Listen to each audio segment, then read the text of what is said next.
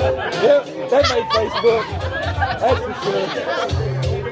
I've never heard like that before.